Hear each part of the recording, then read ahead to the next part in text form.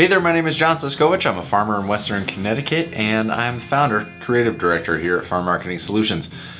We have a YouTube channel and we also have a podcast and it is one of those podcast clips that I wanted to share with you today. Now, uh, this earlier this week, I've been sharing clips from the episodes themselves.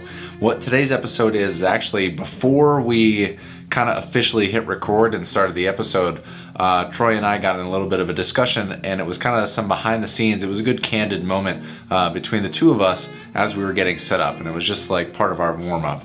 So I want to share that with you today as kind of, kind of some bonus material in addition to the podcast. If you want to listen to the whole show, I will share that at the end of this clip. But without further ado, here we go.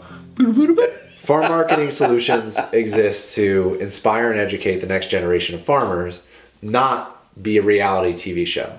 Right. I could put on the John Show. I've done it. I have 520 videos up on YouTube, and some of them are, "Hey, the John Show."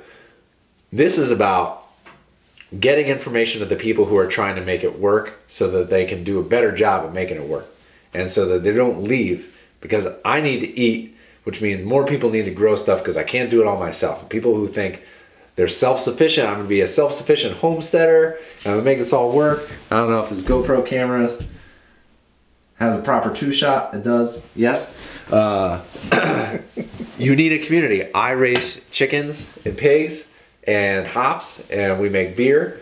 And my buddy does beef. My other friends do flowers. I have vegetable farmer friends. I have honey friends. I have Yeah. goat milk friends. A raw raw milk dairy. I don't. I'm not self-sufficient. My community is self-sufficient, Yeah. and therein lies the value of this lifestyle to me. Beautiful. Isn't that good? Isn't it a is. little like Yeah, it's a total plug. I need a flag waving behind me of like you know it's uh, yeah, yeah, ladies and gentlemen yeah. Or you do need a song. believe Like, yeah, because the I'm proud to be a farmer. Yeah, yeah, yeah. Well, You my food is really good. see? You, yeah, you could do that. No problem. So we just had that discussion about community supported agriculture and that is three words. Those are three words that I have shaped my entire life around. Community, support, and agriculture. All of those things go hand in hand. If you want to listen to this full episode, you can go to farmmarketingsolutions.com forward slash GFP. That's for Growing Farms Podcast. Or you can search us on iTunes at Growing Farms Podcast and you'll see a line drawing, a, a black and white drawing of me and Troy with a bunch of grass in our mouth because I did the drawing and it was a lot of fun and it was just one of the, my favorite pictures of me and Troy.